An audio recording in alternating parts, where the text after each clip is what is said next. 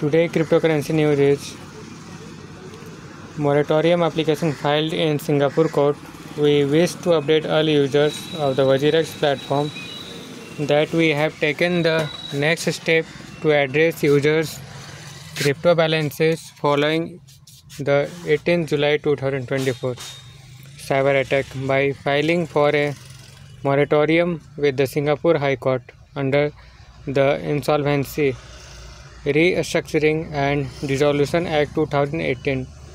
This will provide the necessary space to restructure crypto liabilities of the platform through a scheme of arrangement.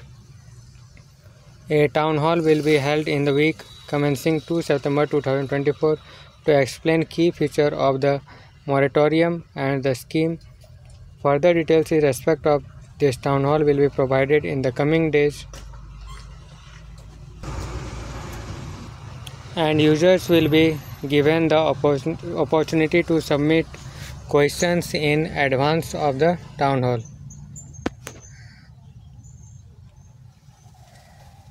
Announcement WazirX moratorium application filed in Singapore court.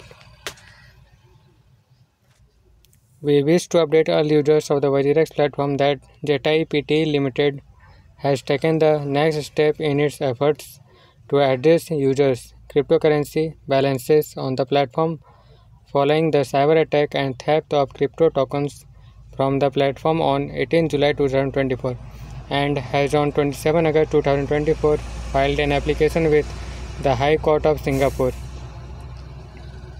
for a moratorium under Section 64 of the Insolvency Restructuring and Resolution Act 2018 to facilitate its intention to restructure its liabilities under a scheme of arrangement.